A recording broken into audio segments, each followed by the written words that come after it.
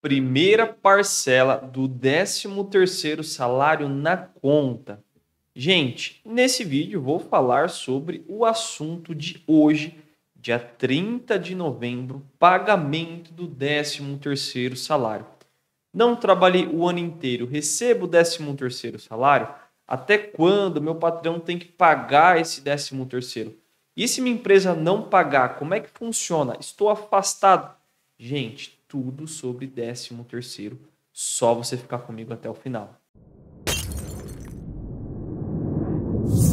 Oi, gente. Aqui quem fala é Rodrigo, sou advogado, sou especialista em direito do trabalho. Sejam todos muito bem-vindos ao nosso Dica Trabalhista. Hoje a gente vai falar um pouquinho sobre 13 terceiro salário. Deixa o like no vídeo, se inscreva no canal. Acompanhe o nosso Instagram, Rodrigo Galatia DV atendemos trabalhadores de todo o Brasil. Então, você, trabalhador de qualquer estado do Brasil, pode, pode nos contratar, virar cliente aqui do nosso escritório. E, gente, hoje para falar um pouquinho sobre 13 terceiro, porque hoje, dia 30 de novembro, é a data final para a sua empresa fazer o pagamento do 13 terceiro salário.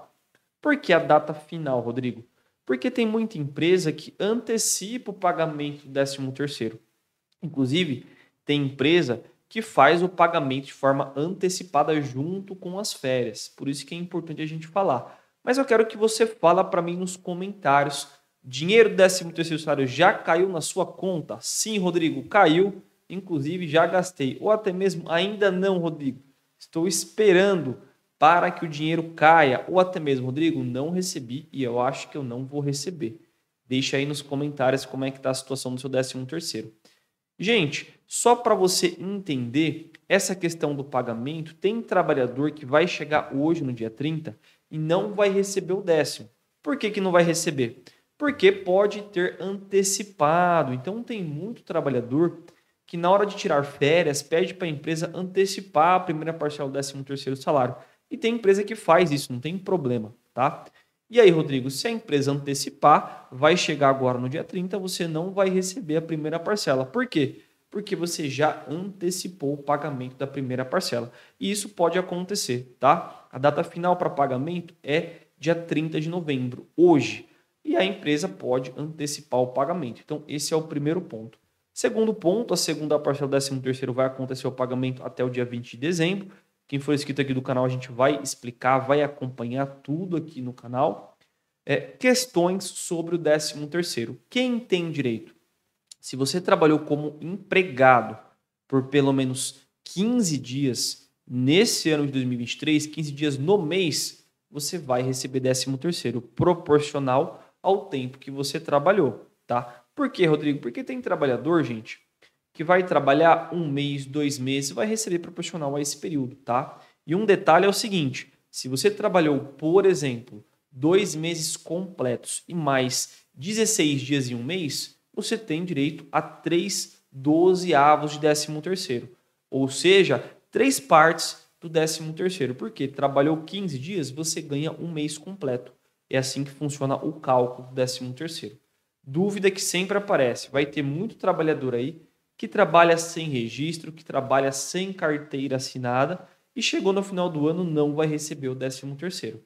Gente, aí a sua empresa, se você trabalha como empregado, ela tem que pagar. Só que tem muita empresa que não registra o trabalhador para justamente não ter que pagar 13 terceiro. E aí, gente, se você trabalha como empregado, como assim? Tem horário para entrar, tem horário para sair, tem chefe, trabalha semanalmente, segunda, quinta, segunda, sexta, recebe salário, pagamento mensal, não tem empresa no nome, ou seja, você trabalhou como empregado durante todo o período, só que a sua empresa não registrou a sua carteira para não pagar os seus direitos. Logo, você pode sim buscar na justiça esse 13 terceiro que não foi pago, caso a sua empresa não pague, tá?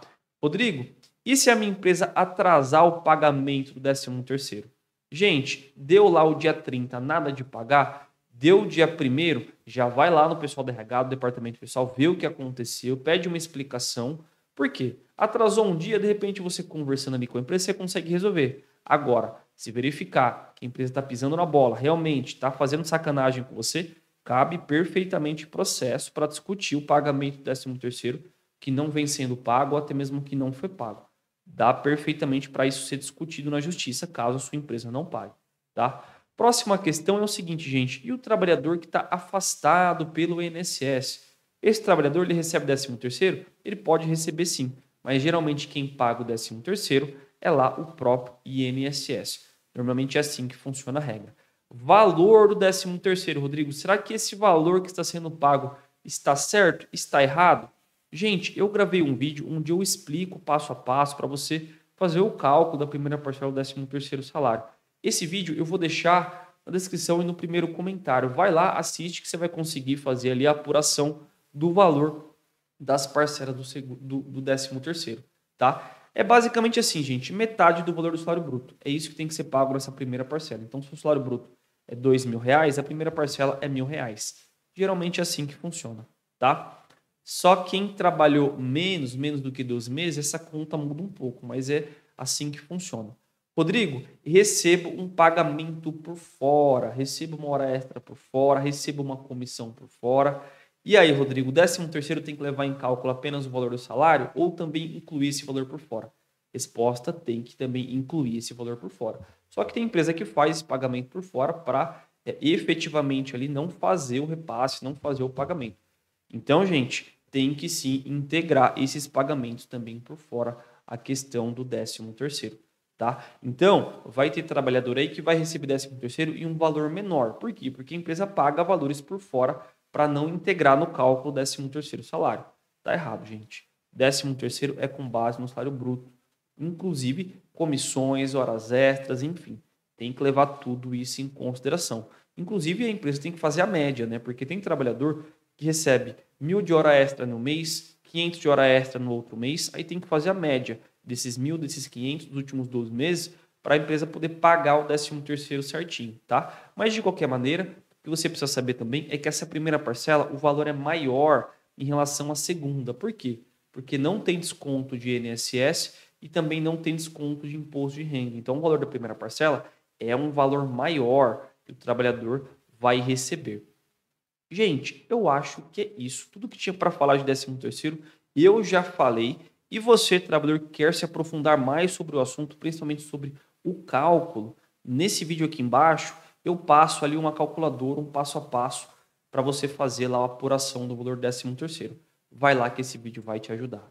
Gente, é isso. Dúvidas, questões, deixe nos comentários. Espero que tenham gostado. Um abraço. Tchau, tchau.